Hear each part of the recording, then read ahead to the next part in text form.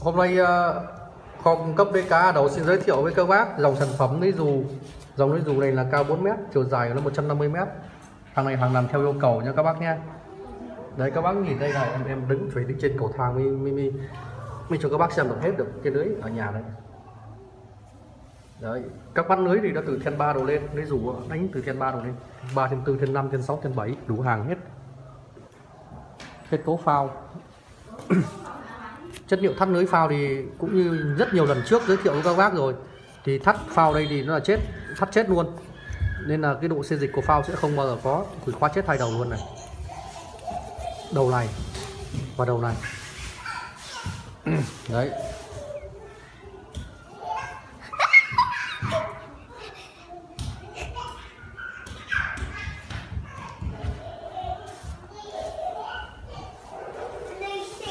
Đây là phần ờ, chân chì các bác nha cặp chì chì này nặng tương đương với như dạng chì chài luôn.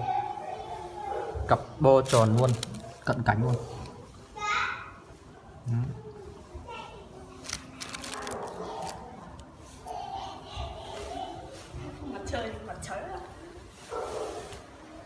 Đây đang đang ờ, cặp chì nữa các bác nha đang thắt vào cặp chì phần dưới luôn.